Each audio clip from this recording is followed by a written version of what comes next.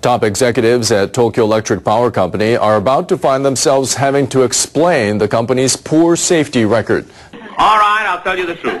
Well, that'll be novel. You haven't tried that before. Two of the company's nuclear power plants have recently been hit by accidents. Now Japan's nuclear regulatory body wants to know what TEPCO is doing to ensure safety. The most recent accident happened at a reactor at the Kashiwazaki Kariwa plant in Niigata Prefecture. The utility found that tubes used to send water to spent fuel pools had warped in 18 places. Officials from the Nuclear Regula Regulation Authority, or NRA, discussed the matter on Wednesday. In another incident last Tuesday, water leaked from a pipe that purifies wastewater at the Fukushima Daiichi plant, site of last year's nuclear accident. TEPCO has systematic problems. I cannot dispel concerns over its safety awareness. Tanaka says he wants to ask TEPCO officials what they intend to do to ensure safety at its nuclear plants.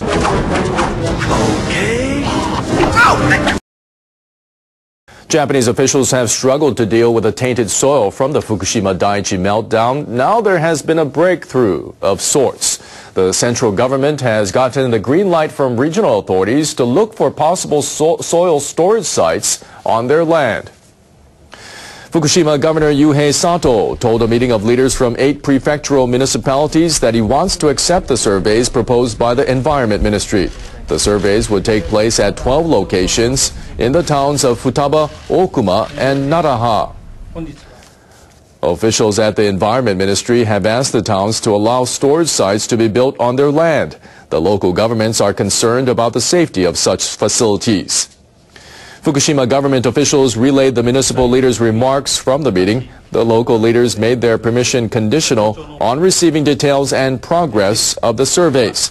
And they reportedly said the central government must be made aware that accepting the surveys does not mean they will allow the building of the facilities. We decided to accept the survey because there are various things that can't be known until it is carried out. It was a difficult decision for us. A resident evacuated from one of the towns expressed resignation over the survey's acceptance. I think we will never be able to go back home in our lifetime. We really have no other choice. Nowhere else would accept such a thing. The International Atomic Energy Agency has reported a security breach. Agency officials say hackers accessed one of its computer servers and stole the email addresses of nuclear experts. The IAEA says the com compromised server is in Vienna. Officials say the hackers posted the contact details of more than 160 experts online. They added a message demanding the agency inspect a nuclear facility in Israel. Observers say the hackers were apparently trying to put pressure on the IAEA by disclosing data on experts who can influence the agency. Now, Israel is widely believed to possess nuclear weapons, but officials there say they are not obliged to undergo IAEA inspections because Israel is not a signatory to the Nuclear Non-Proliferation Treaty. Iran and Arab nations denounced that position.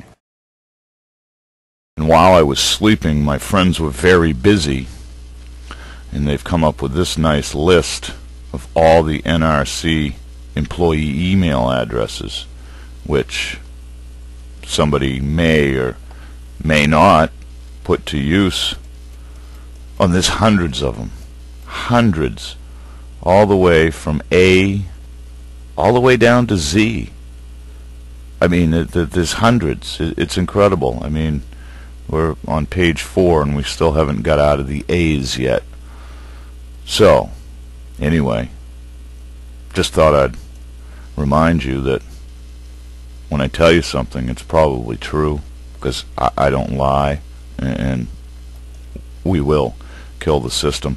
Um, as far as the link to the NRC email addresses, the link to the entire folder will be below, and you just go in there and look right here. If you haven't picked up those other screenshots that I showed yesterday, you can do that while you're in the folder. Take the whole folder if you want, um, but this link right here will give you all the email addresses.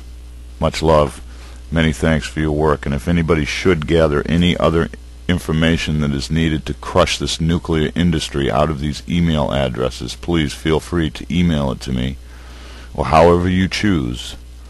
Upload it and I'll get it, whatever. Give me a heads up. I'll share it with the rest of our friends who are working very hard to keep this planet safe.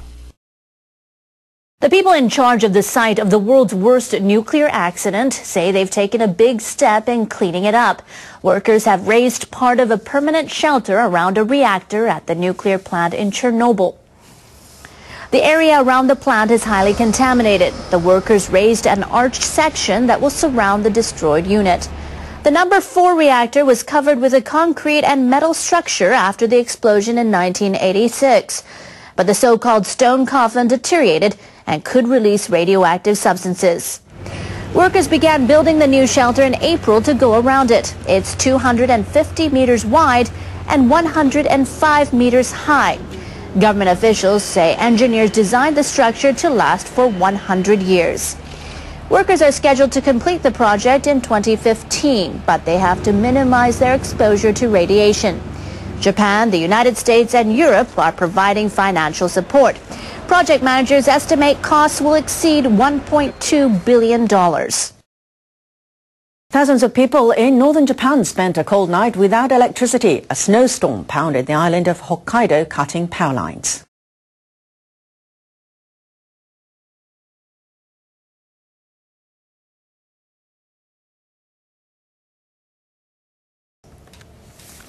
Winds knocked down an electricity pylon. Hokkaido Electric Power Company officials are setting up temporary generators. More than 20,000 homes were without electricity on Wednesday morning. About 260 people were forced to move into shelters. I can't stand the cold anymore. I'll stay in the car and keep the engine running. It's the weather, so there's no point complaining. Power company officials say it may take a few days to erect a makeshift tower and fully restore power. Officials at Japanese retailer Seven & i Holdings are planning for the next major earthquake. They'll introduce a computer system that can monitor the extent of damage at their convenience stores across Japan. The new system was co-developed with a mapping company and is set to launch next month. It can automatically display the intensity of an earthquake at over 15,000 stores nationwide. The program also detects power outages based on the status of ATMs installed at each outlet. The system then suggests possible transportation routes based on information released by transit authorities. Executives at 7 & i Holdings say they had difficulty assessing the condition of their 7-Eleven stores and supermarkets after last year's disasters. Management struggled to grasp which outlets needed more staff or supplies and from which stores to send them. Company officials say they hope the system will help them reopen damaged stores as quickly as possible.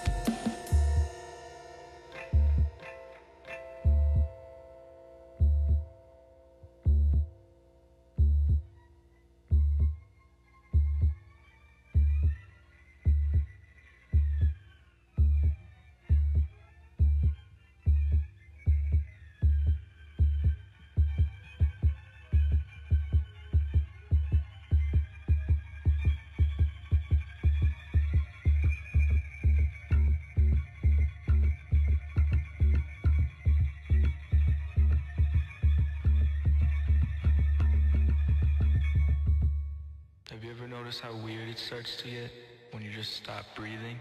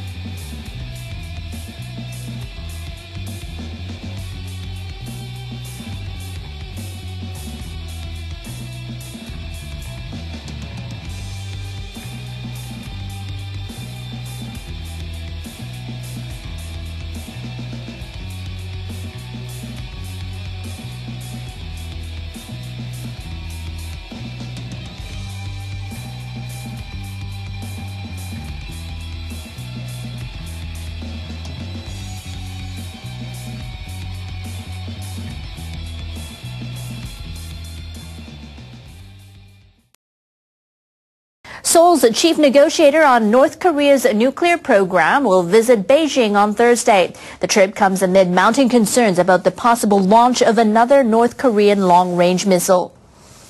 The South's foreign ministry says envoy Im Son-nam will meet senior Chinese officials during his two-day visit. Among the officials will be du Wu Dawei, that's Wu Dawei, chair of the six-party talks on North Korea's nuclear program. The move follows the release of photos taken by U.S. military and commercial satellites earlier this month. The images indicate that Pyongyang appears to be preparing for a missile launch from a base in the northwest. A long-range missile was fired from the same facility in April, but the launch failed to put what the North claimed was a satellite into orbit. The South Korean negotiator is likely to ask China to persuade the North to halt the test.